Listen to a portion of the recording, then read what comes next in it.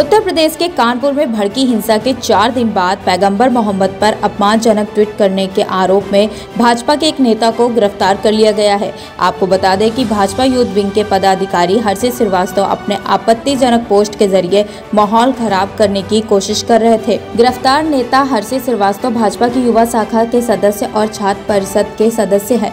कपूर के शीर्ष पुलिस अधिकारी विजय सिंह मीणा ने बताया, उनके पोस्ट आपत्तिजनक थे। पुलिस ने तत्काल कार्यवाही की और संबंधित धाराओं के तहत मामला दर्ज किया, जिसके बाद उन्हें गिरफ़्तार कर लिया गया है। उन्होंने कहा, सरकार की नीति बहुत स्पष्ट है। अगर कोई सांप्रदायिक सद्भावना को बिगाड़ने की कोशिश करता है तो निष्पक्ष और सख्त कार्यवाही की जाएगी। अपनी पार्टी के नेताओं द्वारा की गई टिप्पणियों पर अधिकतर अंतर्राष्ट्रीय प्रतिक्रिया का सामना कर रही भाजपा ने नुपुर शर्मा को तुरंत निलंबित कर दिया था।